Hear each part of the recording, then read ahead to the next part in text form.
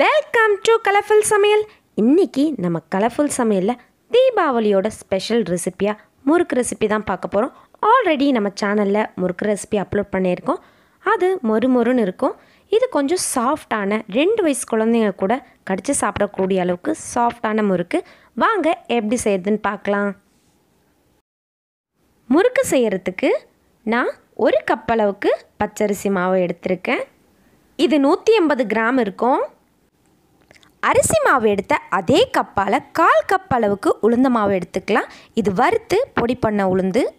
உளுந்து எடுத்ததை விடவும் பாதியாக பொட்டுக்கடலை மாவு எடுத்திருக்கேன்.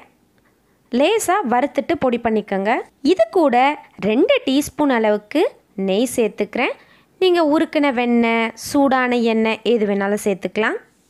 அரை டீஸ்பூன் அளவுக்கு உப்பு அரை டீஸ்பூன் அளவுக்கு எள்ளு கால் டீஸ்பூன் அளவுக்கு ஓமம்.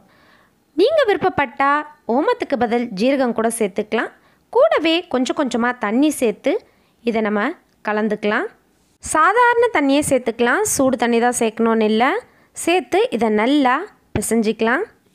இந்த மாதிரி கன்சிஸ்டன்சிக்கு பிசைஞ்சு எடுத்துக்கோங்க. இது ஒரு அஞ்சு நிமிஷத்துக்கு அப்படியே இருக்கட்டும். நம்ம எண்ணெயை சூடாக்கிக்கலாம். இப்போ நம்ம முறுக்கு பிழிய ஆரம்பிச்சிடலாம். இந்த மூணு ஓட்டை உள்ள அச்சு எடுத்திருக்கேன். நம்ம இந்த முறுக்கு செய்கிறதுக்காக நம்ம மோல்டில் மாவை சேர்த்துட்டு இந்த மாதிரி பொறுமையாக பிழிஞ்சு எடுத்துக்கலாம். எடுத்துட்டு இந்த மாதிரி கட் கொடுத்துட்டு அதை லைட்டாக இப்படி ஒட்டி விட்டுருங்க. அப்போ தான் பிரிஞ்சு போகாது இல்லைன்னா பிரிஞ்சு போயிடும். இதை நம்ம சூடான எண்ணெயில் போட்டு பொறிச்சு எடுத்துக்கலாம். எண்ணெய் சூடாயிடுச்சு.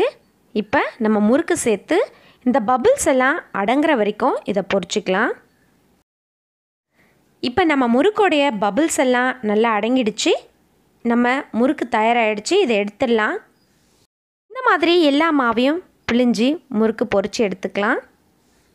அவ்வளோதான் நம்ம முறுக்கு எல்லாத்தையும் அழகாக சுட்டு எடுத்தாச்சு.